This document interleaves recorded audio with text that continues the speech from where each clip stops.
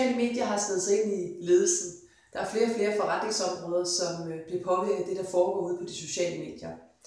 Desværre er det sådan, at det ofte ikke er i ledelsen, at man finder de fleste konkrete erfaringer med, hvad der egentlig foregår ude på sociale medier.